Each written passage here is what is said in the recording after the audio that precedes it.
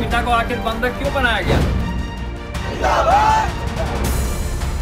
लालू प्रसाद यादव के बड़े बेटे तेज प्रताप यादव एक बार फिर सुर्खियों में है।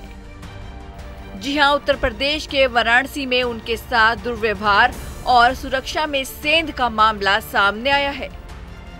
आरोप है कि कैंट इलाके में स्थित एक होटल के मैनेजर ने तेज प्रताप यादव का न केवल उनकी अनुमति के बगैर कमरा खोला बल्कि बगल के कमरे में ठहरे सुरक्षा कर्मी और सहायक लोगों का सामान निकाल कर रिसेप्शन पर रख दिया।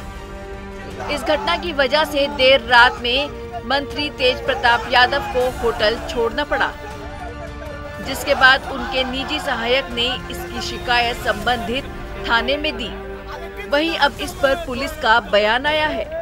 ये भी जानकारी करने पर ज्ञात हुआ है कि थाना सिगरा क्षेत्र में एक नया होटल है जो अभी कुछ महीने पहले खुला है इसके एरिया दो आ, उनके एक तेज प्रताप के करीबी व्यक्ति के द्वारा छः तारीख के लिए एक दिन के लिए होटल बुक कराया गया था।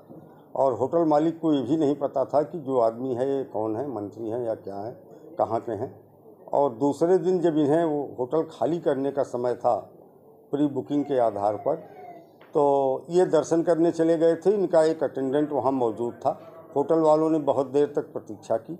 इसके बाद इनका सामान रिसेप्शन पे ला के रख दिया।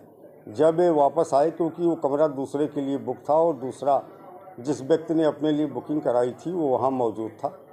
तो आने के बाद इन्होंने एक शिकायत पुलिस को दी है, प्रार्थना पत्र दिया है, जिसकी जाँच की जा रही फ़िलहाल ये मामला पुलिस के संज्ञान में है, जहाँ उचित कार्रवाई की जा रही है। Bureau report, PTC news, UP.